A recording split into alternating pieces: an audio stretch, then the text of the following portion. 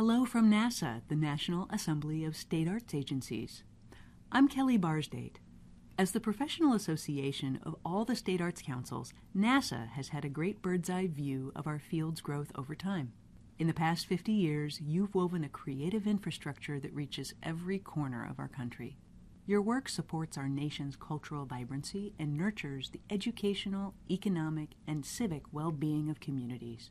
I'll share a little of that story with you now to mark some of our milestones as a field and put the work you do today in a national context. It began in Utah in 1899 with the founding of the very first State Arts Council. Utah had only been a state for three years. Minnesota created its State Arts Agency not long afterwards, in 1902. Clearly, the arts were a priority in building a foundation for civic life. True then, still true today. Before September of 1965, 18 state arts agencies had been established, either through legislation or executive order. But the creation of the National Endowment for the Arts in October of that year incentivized the creation of more. By 1975, there were agencies in all 50 states and six jurisdictions. As your arts councils were born, legislatures built some distinctive things into your DNA, principles that are still fundamental to your work. Citizen driven decision making is one distinguishing factor. Another is a mandate for the arts to be accessible to everyone. State arts agencies were built to distribute grants, including, in most states, grants for artists and operating support. Those set you apart from many foundations and the NEA, too. State arts agencies also follow sunshine laws, like open panels and board meetings, public hearings, and transparent funding policies. And two thirds of you have enabling legislation that recognizes artistic freedom. In 1965, state legislatures appropriated $1.9 million to the state arts councils that existed at the time. Today, legislatures are investing $360 million in state arts agencies. That adds up to 10.1 billion during the last 50 years. Many of those dollars were used for grant making. Since NASAA started counting in the 1980s, you've made more than 767,000 grant awards. That's a reach broader than any other arts funder you achieved a profound democratization of arts funding across rural and urban areas, small and large groups, wealthy and poor neighborhoods, in opera houses, school gymnasiums, and on street corners. Helping to fuel this work is a partnership with the NEA. When the NEA was created, Congress directed the agency to carry out a program of grants and aid to the states.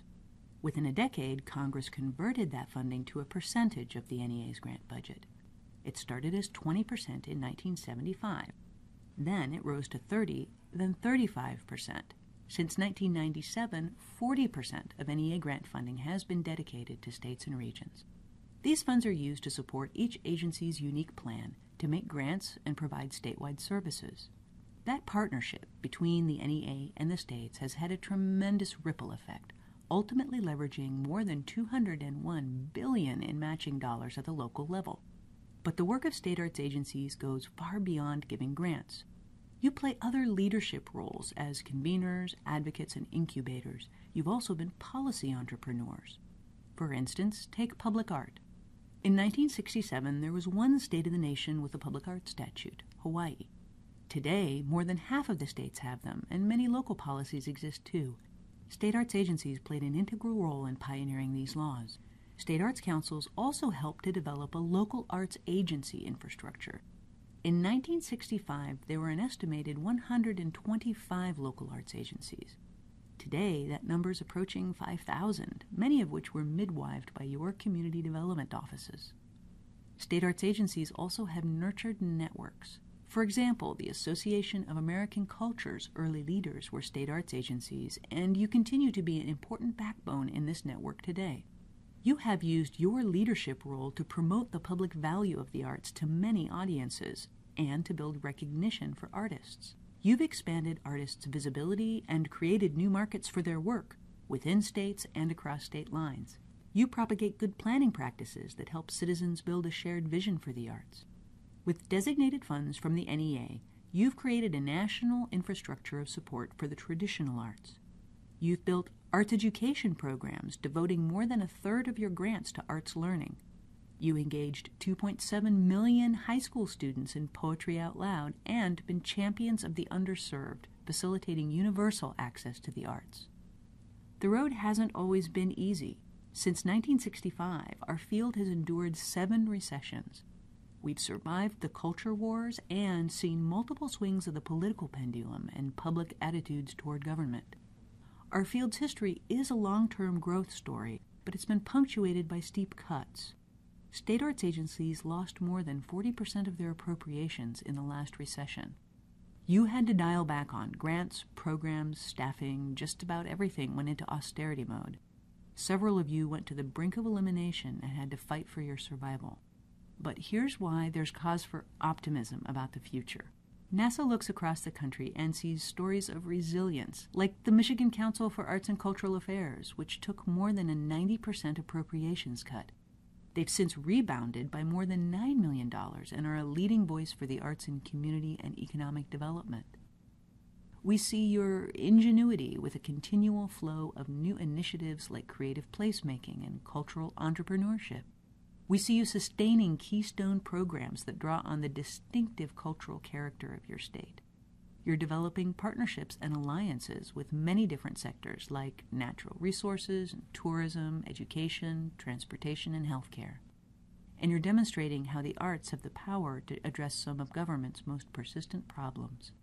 Our field was formed in the cultural crucible that was the 1960s, with all the contradictions that time contained and our work isn't done. Once again, we're facing generation defining civil rights issues, economic turbulence, war, and environmental change. These are wicked problems that our society needs the arts to help address.